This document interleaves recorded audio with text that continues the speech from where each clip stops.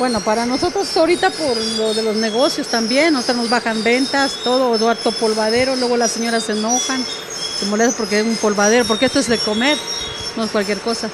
No, bueno, aquí nada más están ahorita metiendo agua, están viendo lo de los drenajes, que ahorita ya van a, supuestamente que ya van a tapar acá, vaya, ya van a hacer pavimento, pero hasta ahorita veo que no hay nada. Van a hacer el cambio de pavimento. Un día trabajan, un día no. De que cierran la calle, ya la gente ya el polvo, ya no pasa. Ya mejor prefieren darse la vuelta y ya. ¿Han no le bajado sigan. sus ventas? Sí. ¿Y esto se lo han manifestado al ayuntamiento? sí, pero pues no, no hacen caso.